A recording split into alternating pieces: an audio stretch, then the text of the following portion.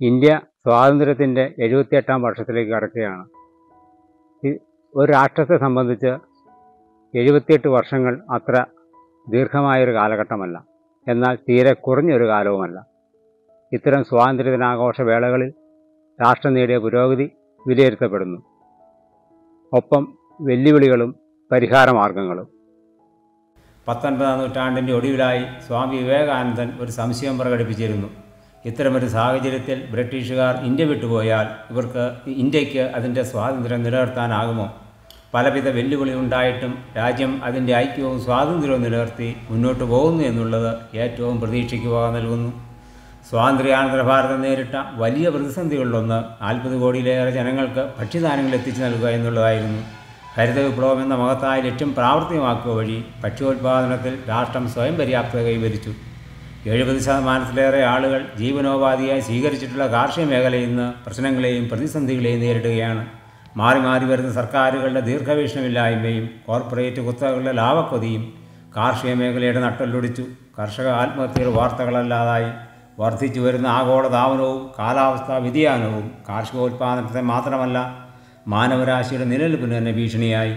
ഗോളാന്തര യാത്രയിലും നിർമ്മിത ബുദ്ധിയിലും എത്തി നിൽക്കുന്നു എന്ന് അഭിമാനിക്കുന്ന നാം ദേശീയ വരുമാനത്തിന്റെ ഇരുപത്തിരണ്ട് പോയിന്റ് ആറ് ശതമാനവും എത്തിച്ചേരുന്നത് അതിസമ്പന്നരായ ഒരു ശതമാനം പേരിലേക്കാണ് എന്ന വസ്തുത സൗകര്യപൂർവം വിസ്മരിക്കുന്നു. താഴെത്തട്ടിലുള്ള അൻപത് ശതമാനം ജനങ്ങൾക്കാകട്ടെ ജനങ്ങൾക്ക് ലഭിക്കുന്നതാകട്ടെ ദേശീയ വരുമാനത്തിന്റെ പതിനഞ്ച് ശതമാനവും. ഉള്ളവനും ഇല്ലാത്തവനും തമ്മിലുള്ള അന്തരം ദിനം പ്രതി വർദ്ധിക്കുകയും സമൂഹത്തിലെ പാർശ്വവൽക്കരിക്കപ്പെട്ട ജനവിഭാഗങ്ങൾ വീണ്ടും പാർശ്വവൽക്കരിക്കപ്പെടുകയും ചെയ്യും വിധമുള്ള സാമ്പത്തിക നയങ്ങൾ പൊളിച്ചെഴുത്തിന് വിധേയമാക്കണം. ഭരണഘടനാ മൂല്യങ്ങളെ ബഹുമാനിക്കുന്നു എന്ന് അവകാശപ്പെടുന്ന സർവാധിപത്യ സ്വഭാവമുള്ള ഭരണകൂടങ്ങൾ ഭരണഘടനാ തത്വങ്ങളെ മറികടന്നുകൊണ്ട് നിയമനിർമ്മാണം നടത്തുന്നതും ഭരണഘടനയോടുള്ള വെല്ലുവിളിയും അനാദരവുമാണ്.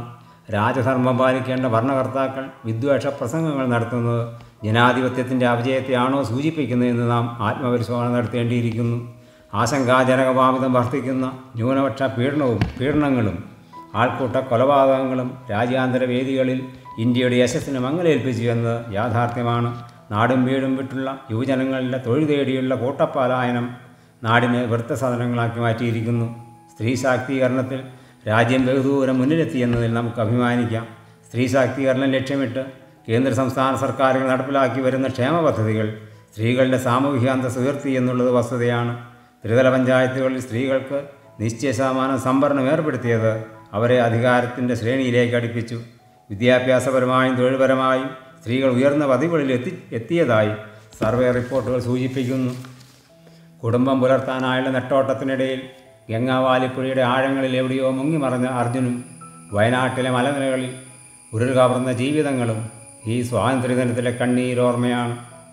വീടും കുടിയും നഷ്ടപ്പെട്ട ഹതാശയരും അച്ഛനമ്മമാർ നഷ്ടപ്പെട്ട അനാഥ ബാല്യങ്ങളും ജീവിതം പാതി വഴി നിലച്ച ഇവർക്ക് പ്രതീക്ഷയുടെ കോട്ടകൾ കെട്ടേണ്ടത് ജീവിച്ചിരിക്കുന്ന നാം ഓരോരുത്തരുമാണ്. കൈയും മെയ്യും മറന്ന് ഊണ് ഉറക്കോപേക്ഷിച്ച് രാവിനെ പകലാക്കി രക്ഷാപ്രവർത്തനം നടത്തിയ സൈനികരും സഹജീവി സ്നേഹത്തിന്റെ ഉദാത്ത മാതൃകളാണ് കാഴ്ചവെച്ചത് എന്നുള്ളതും പ്രതീക്ഷയ്ക്ക് വക നൽകുന്നു.